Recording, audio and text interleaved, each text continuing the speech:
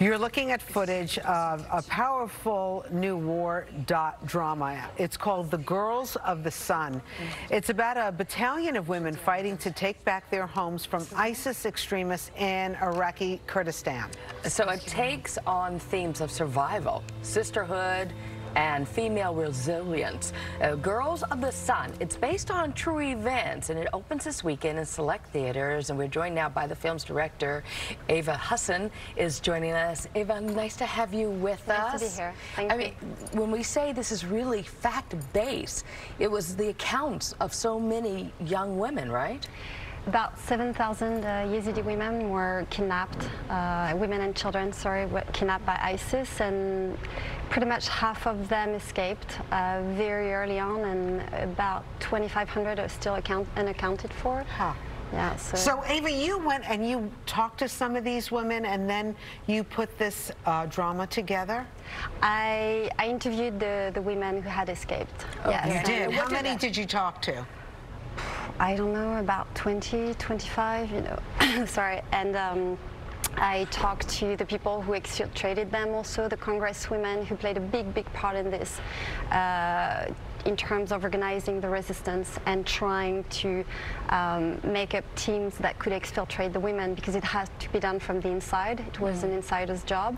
So, you know, these people risked their lives also to, to save these women. So much of it was about not becoming that victim and staying in that place, but becoming yeah. the resistance, really. Thank you for bringing that up. Uh, that's what drew me to the story because I think as women we've been fed so many narratives where you know the woman is a victim and should be a victim and should remain a victim.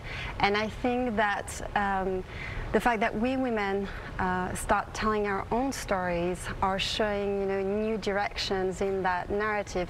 And I think a lot of the stories that I'm starting to hear and, and, and that I uh, witnessed over there is about women who actually take their own fate in their own hands and don't want to be victims you know they want to um, keep their heads up and, and, and fight. And, and a lot of us do that every day. And I think that's what echoes with the movie, the fact that so many of us fight every day mm. and don't want to be victims. You know, but this is some sorority. These women carry guns and grenades. You know, these women, uh, the circumstances of their lives, uh, being separated from their family, their sons being taken away from yeah. them, them being raped, never knowing really what the future is going to hold. And all of a sudden, uh, you know, they arm up and yeah. they're ready to take on these uh, the, these terrible people. Yeah. We have a clip from the movie. Let's uh, take a look at Girls of the Sun.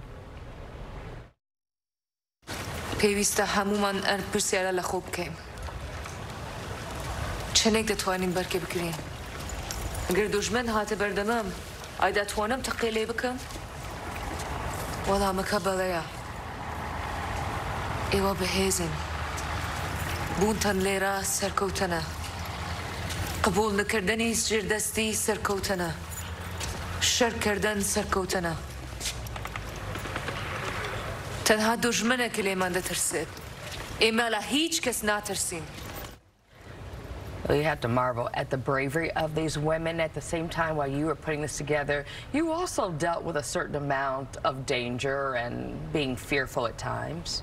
Mm, yeah, but I mean, honestly, it's just ridiculous compared to what they had to go through. Um, um, you know, yes, I, I took some risks, but they were so inspiring that, you know, whatever fear I had, I felt that, you know, I had the duty to just go over that and, and, and convey their words, convey their stories, because so much of that just gets swallowed up by, by the cycle of news, you know, and, um, and I think it's very different when you watch it on the big screen. You can show the emotional journey and the full depth of what it means to go from being a regular attorney, for example, like Bahar, the main character, to a fighter.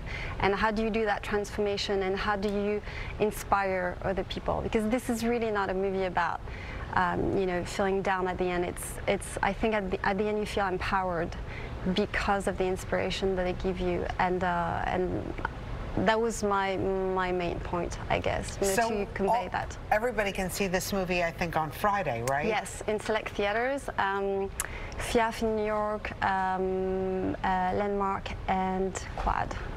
Very it's nice. also nice that you pay homage to Marie Colvin, Yes. uh, who was just an amazing journalist. Because war reporters, on top of it, have not been, you know, given the the, um, the credit and the respect I think they deserve. Because without them, we would not know these stories.